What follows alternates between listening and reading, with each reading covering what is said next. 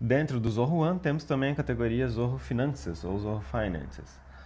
É, temos Zorro Books, né, a aplicação Zorro Books, que é a contabilidade, seu software de gestão financeira completo.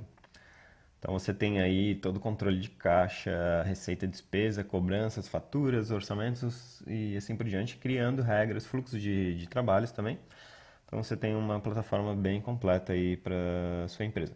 Zorro Invoice, que você consegue aí de forma rápida criar é, orçamentos e faturas. Tá? Então é uma parte do Zorro Books, o Zorro Invoice, que você pode usar é, exclusivamente ele ou para uma determinada equipe dentro da sua empresa ou pessoa que vai usar só a parte de faturas.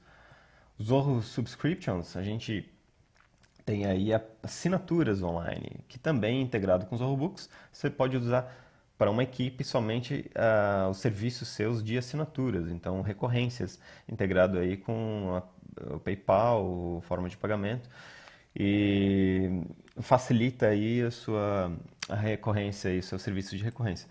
Zorro Expense, a parte é, seria a parte do Zorro Books relacionada à despesa. Então, é um sistema é, paralelo ao Zorro Books que você gerencia apenas as despesas. Você aprova essas despesas de viagens, automatiza e cria aí essas, esses relatórios facilitados.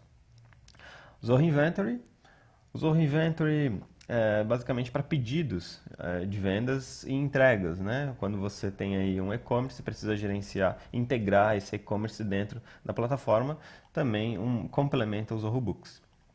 O Zorro Checkout é uma solução de pagamento, né? que você consegue fazer é, cobranças recorrentes ou não, mas dentro do, do forma de pagamento do Zorro que possibilita. Por enquanto eles possibilitam algumas aí que são limitadas é, então percebe que o Zorro Books é a principal plataforma dentro do, desse Zorro Finanças, que também você pode usar paralelamente os módulos aí separados, que são outros softwares também simples.